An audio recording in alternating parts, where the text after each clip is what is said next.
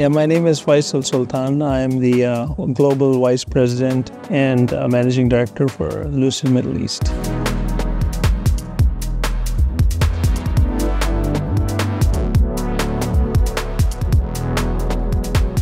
Lucid Motors is an electric vehicle uh, company based out of California, United States. And uh, we have our regional headquarters for Middle East in uh, Riyadh.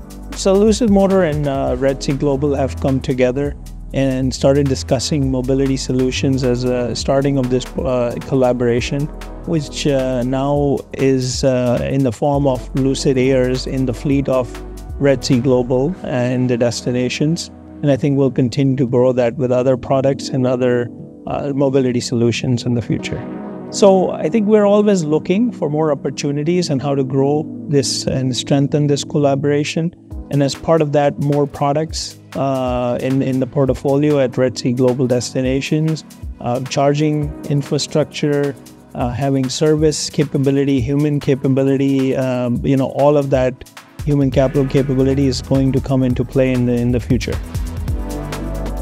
As a company, I think we will continue to build um, on, on the great start that we've had in the region. Uh, we have already started assembling vehicles in King Abdullah Economic City, uh, the Lucid Air, award-winning Lucid Air.